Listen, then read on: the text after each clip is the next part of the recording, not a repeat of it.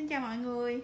À, ngay bây giờ chúng ta sẽ cùng tiếp tục với một à, buổi livestream à, của bác sĩ Cường. À, ngày hôm nay bác sĩ sẽ à, của chúng ta sẽ à, tiêm cầm cho một bạn nữ đã thực hiện mũi S-line cấu trúc được một tháng và một tháng sau bé quay lại à, để thực hiện dịch vụ là tiêm cầm bằng phương pháp filler và ngay bây giờ ngay bây giờ đây chúng ta sẽ cùng bác sĩ Cường à, chia sẻ về một cái phương pháp rất là phổ biến rất là an toàn này xin mời bác ạ.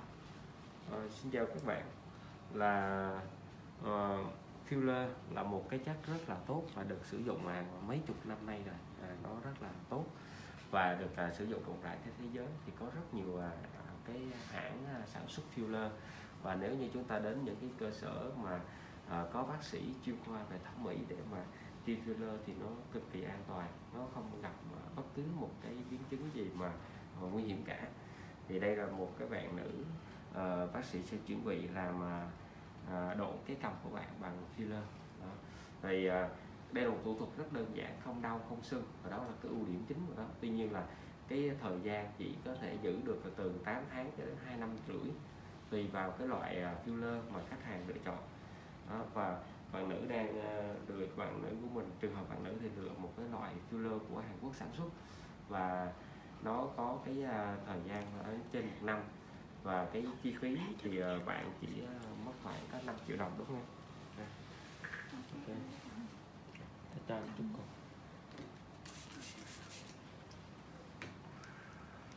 À, hiện tại giờ filler trên thị trường nó quá nhiều ha à, rất là dễ những cái trường hợp như là những cái filler mà nguy hiểm nhất là filler giả hoặc là những cái trường hợp mà người ta tiêm silicone vô cầm hoặc vô mặt các bạn là quá nguy hiểm. À, đây là filler là một cái dạng chất HA làm đầy các bạn. Mở ra. Thì khi các bạn đi tiêm filler các bạn lưu ý là mình đã nên đến cái cơ sở mà có bác sĩ. Tại vì à, một trong những biến chứng của tiêm filler là khi mình tiêm vào mạch máu thì nó rất nguy hiểm nó có thể gây hoại tử cái vùng à, filler đó à, cho nên là cần phải có bác sĩ chuyên khoa để mình tiêm để mà không gặp những cái biến chứng đó. Như bạn à, gái à, Trinh này thì à, đã làm mũi với mình được một tháng. À, các bạn có thể xem cái cái cái form mũi rất là đẹp.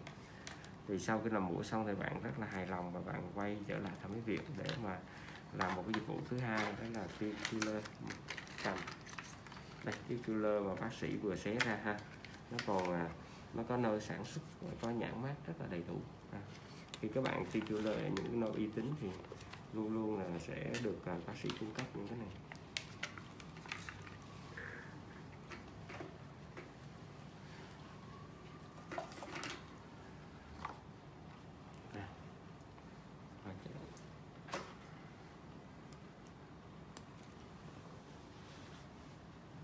Như trường hợp bạn Trinh này về các bạn có thể à, thấy rằng bạn, cái cầm của bạn thiếu về à, độ nhô là chủ yếu về độ dài thì thiếu không không nhiều.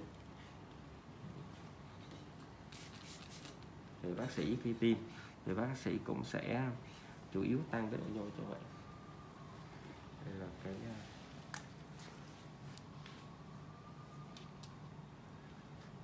à, đặc biệt là không hề đau nha các bạn.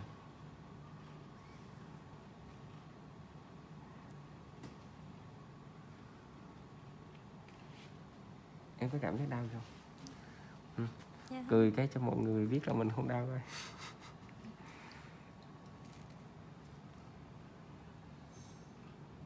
à, trước khi tiêm ờ, filler thì bạn được bôi tê cái vùng cằm rồi ha. À, à, bôi tê rất là nhiều rồi cho nên là cái chuyện đau nó không có nữa. Cười cái coi. Ừ.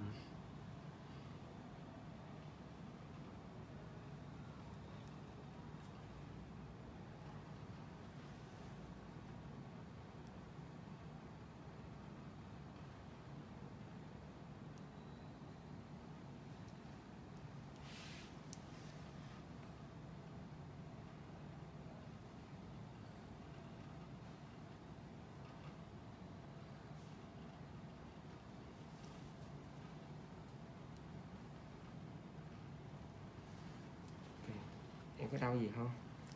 Cười cho mọi người xem nghe coi. Ngáp nha một cái à, cái filler là khi mình tiêm vào cơ thể mình thì nó sẽ à, hút nước tới à, tập trung tại cái à, cái cái, cái vùng mà mình tiêm filler. À, cho nên là gì? Sau tiêm xong thì khoảng 3 ngày sau thì cái cái cầm này nó sẽ à, to hơn một chút xíu do cái nước nó tập trung lại. À, cho nên một cái ca tiêm filler đẹp thì sau khi tiêm, nó phải hơi nhọn một chút xíu và nó hơi gom lại chút xíu.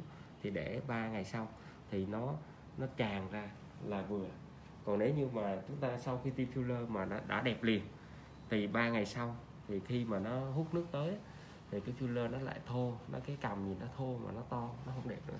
Cho nên là một cái ca tiêm filler đẹp thì thường là phải đến ngày thứ ba thì nó mới là đẹp hoàn hảo và sau đó nó giữ kết quả được từ 8 tháng cho đến 2 năm tùy loại.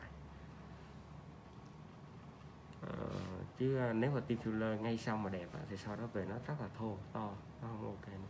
cho anh miếng dáng. Đau gì không nghe? Cười cho mọi người nghe coi. Cười coi.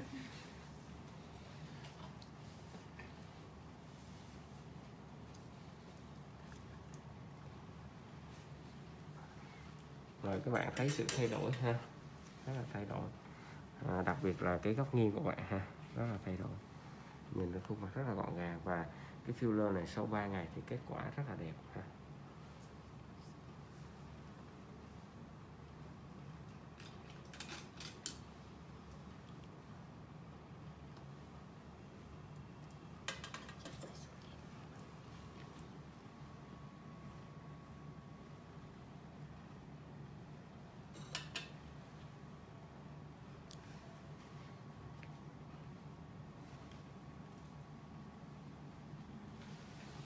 rồi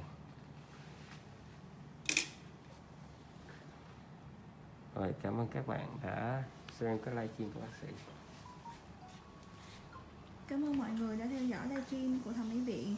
Và nếu mà chúng ta có những thắc mắc cũng như những nhu cầu cần được tư vấn thì có thể là uh, inbox trực tiếp cho fanpage các các bác sĩ sẽ trả lời cho chúng ta nha. Cảm ơn mọi người rất nhiều.